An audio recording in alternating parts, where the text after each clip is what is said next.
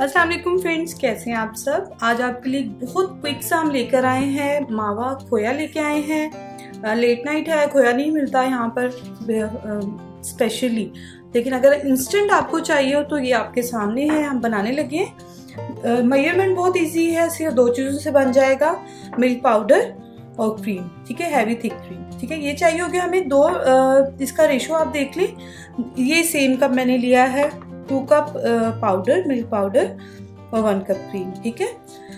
इसको हम बहुत इजी तरीके से बनाएँगे सुपर इजी और सुपर इंस्टेंट है, ठीक है? ये देख ले मैंने इसमें। ये वन कप हैवी क्रीम है फुल फैट क्रीम ये इसमें ऐड कर दिए और आपने इसको स्पैचुला की मदद से, जिससे आपको इजी हो, आपने इसको मिक्स कर लेना, ठीक है? ये देखिए फ्रेंड्स ये मैंने अच्छे से इसको मिक्स कर लिया है, ये इस फॉर्म में आ गया है, ये देख लिया ठीक है? अब मैं इसको तीन दफ़ा माइक्रोवेव में रखूँगी, एक मिनट रखूँगी, फिर इसको थोड़ा सा मिक्स करूँगी, क्योंकि आपको पता है माइक्रोवेव में हम रखते हैं तो एजिस से ज़्यादा हो जाता है। तो आपने दोबारा से स्पून की मदद से हम उसको अभी, मैं पहले एक मिनट का करके फिर आपको दिखाती हूँ। बस इसमें दो तीन ट्रिक्स हैं, उससे आप बनाएँगे, इंशाल्लाह ये बहुत अच्छा बनेगा। चलिए ये ओवन में जाने के लिए रेडी है माइक्रोवेव में तो मैं इसको एक मिनट का करके लेकर आती हूँ देन आपको दिखाती हूँ।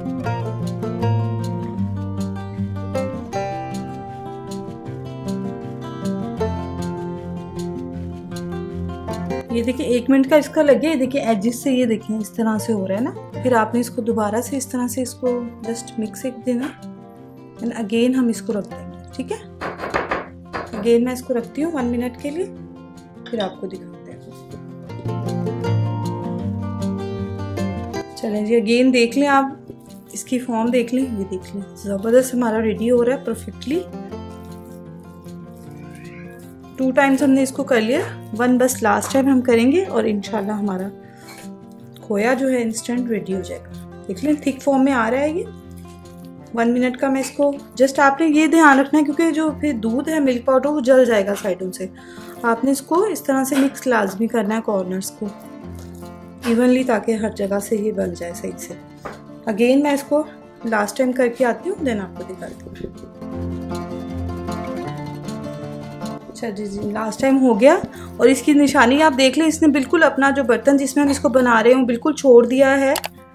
क्रीम है इसमें, इससे ज़्यादा नहीं हम इसको कुक करेंगे। एक तो ये बहुत हार्ड हो जाएगा और फिर जलना शुरू हो जाएगा मिल्क पाउडर ठीक है? ये देखिए हमारा ज़बरदस्त था।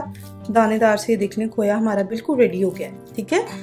क्विक सा है, अगर आपको चाहिए हो इंस्टेंट खोया तो आप इसको ज़रूर बनाएँ और बताएँ कि आपका खोया जो है वो किस तरह का बना है।